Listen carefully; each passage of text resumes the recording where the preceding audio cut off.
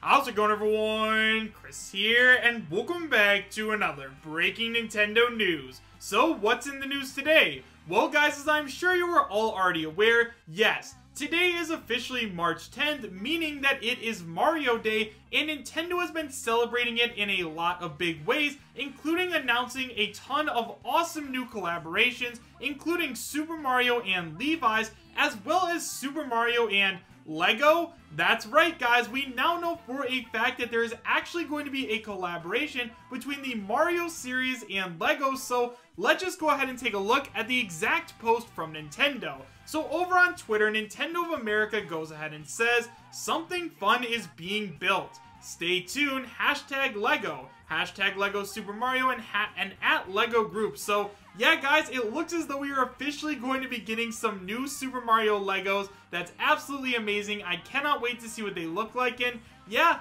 it looks like there's even a hint at a Nintendo Direct that is buried in this tweet. So, we're going to go ahead and talk about that a little later as well in a video on later today. So, get excited for that. And now guys, with all that out of the way, thank you guys all so much for watching. Let me know your thoughts about Super Mario Legos in the comments, and have a great rest of your day. Take care.